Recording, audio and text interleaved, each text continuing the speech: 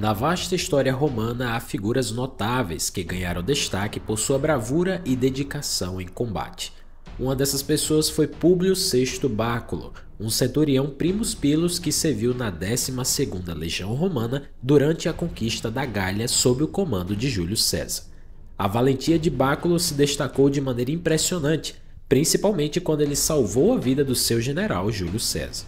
Nas fontes históricas e principalmente nos comentários de César na Gália, Públio VI Báculo é retratado como um guerreiro destemido, pronto para lutar até a morte sob a liderança de César. Em suas próprias palavras, César descreve como Báculo enfrentou batalhas sangrentas, mesmo quando estava gravemente ferido. Isso aconteceu, por exemplo, na luta contra os Nérvios no ano 57 a.C. De acordo com os comentários de César, depois de o general ter falado aos soldados da décima legião, ele foi para o lado direito do campo de batalha. Lá, ele viu que seus homens estavam em apuros e os soldados da 12ª legião estavam pressionando o local onde tinham agrupado suas bandeiras. A situação estava caótica. Todos os líderes da quarta corte tinham caído, o porta-estandarte foi morto e a bandeira havia sido perdida.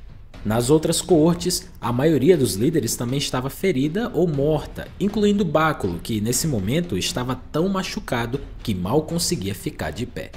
Além disso, alguns soldados da retaguarda se retiraram da luta, enquanto na frente os inimigos continuavam atacando. Não havia reforços disponíveis e a situação era desesperadora. Por causa dos seus ferimentos, Báculo havia sido levado para uma guarnição, recebendo tratamentos médicos. Ele ficou sem comer durante quatro dias. Mais preocupado com sua própria segurança e a de todos os outros, ele saiu da sua tenda para enfrentar os nervos. Quando estava novamente na batalha, Báculo pegou o escudo de um soldado das últimas fileiras, já que ele havia perdido o seu próprio. Com grande coragem, ele se lançou para a frente e, chamando os centuriões pelo nome e encorajando os soldados, ordenou que avançassem. Sua chegada trouxe confiança aos soldados e os incentivou a continuar lutando.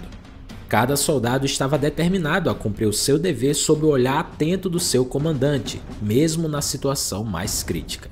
Graças à liderança de Báculo, a pressão dos nervios foi momentaneamente aliviada. No entanto, os ferimentos graves que Báculo havia sofrido o fizeram desmaiar, e ele foi salvo por outros soldados que o carregaram para longe da linha de combate. Uma situação parecida com essa ocorreu cinco anos depois, e dessa vez César estava enfrentando a tribo germânica dos Sugambros em 52 a.C.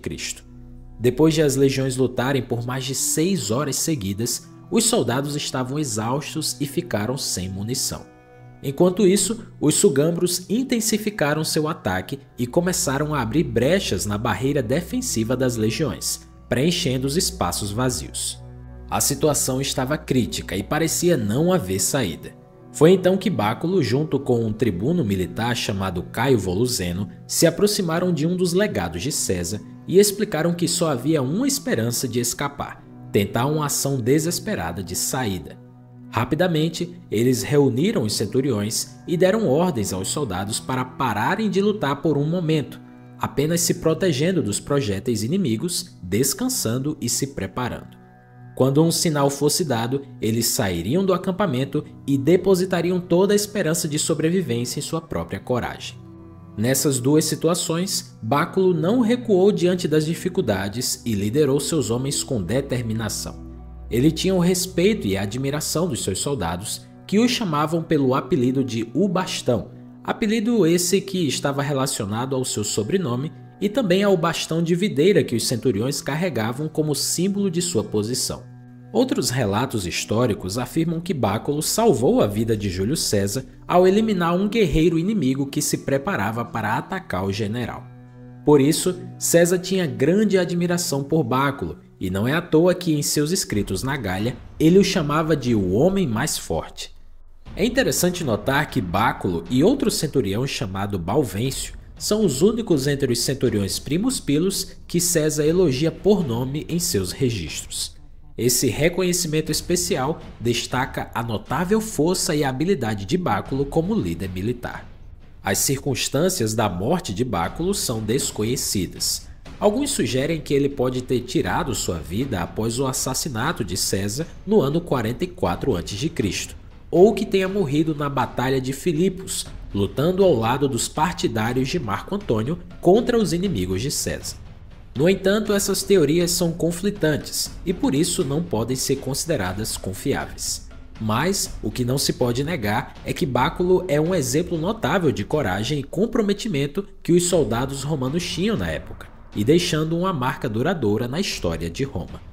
E eu vou deixar aqui do lado uma sugestão de outra história muito interessante sobre um centurião que lutou sozinho contra a guarda pretoriana para proteger o seu imperador. Se você ainda não assistiu, vale muito a pena ver esse vídeo. Então eu vou ficando por aqui, até o próximo vídeo.